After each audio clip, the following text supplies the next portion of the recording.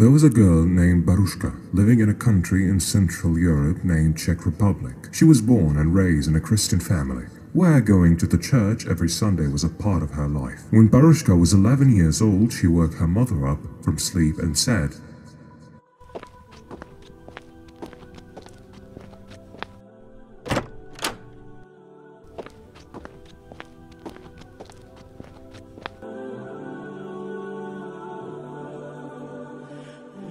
Mother, mother, wake up! Yes, my dear. What's the matter? I had a dream, a very strange but beautiful dream. Tell me about it. I saw that there was a group of people walking towards me. The person in the front was a man, but I was not able to look at his face because it was shining so bright and beautiful. And there were some women wearing headscarves and similar clothes. They asked me, Do you want to be one of us? What did you say then? I immediately accepted, Mother. I felt like I wanted to be part of something so beautiful. I see. So, what happened after you accepted? The man in the front, he started to say some lines and I had to repeat after him. So I did. What does this mean, Mother? It doesn't mean anything. Just forget about it. Maybe you watched something similar on the TV. Go back to sleep now. Barushka's mother thought it was just a random dream, but little did she know it was the first sign of something so beautiful for Barushka. However, Barushka could never forget about such a dream. So years passed and Barushka started her university where she became friends with many Muslims who used to talk about religions comparing Christianity and Islam. That's when Barushka felt she should read the Quran sometime. Do you have a charger? I really need to charge my phone. Oh, yes, I will be right back.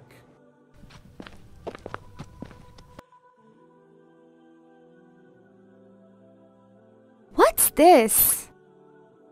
My old roommate forgot some of her stuff in my room. I was wondering if you want to keep it. Yeah, sure. When Barushka looked at the book, it was the Quran. Even though she was not really interested in studying the religion closely, she accepted the Quran.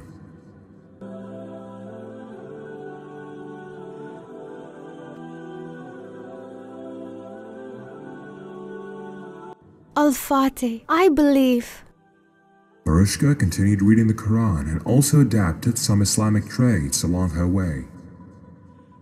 I read the Quran and I do believe in Allah, but I need some support. Be careful, don't trust everyone. There are not many Muslims in this country, so the other people may try to harm you. And do not believe in everything you read from the internet. Thanks for the advice, my friend. Mother, I want to tell you something. What is it, my dear? I have been studying Islam for some time now and really believe in it. I hope you accept me and support me on this journey.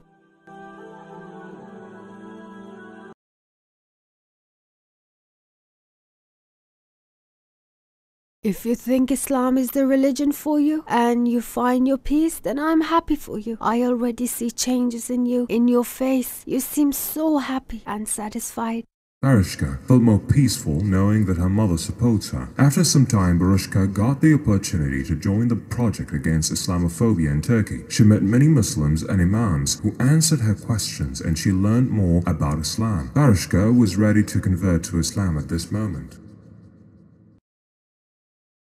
Repeat after what I say. It's called the Shahada.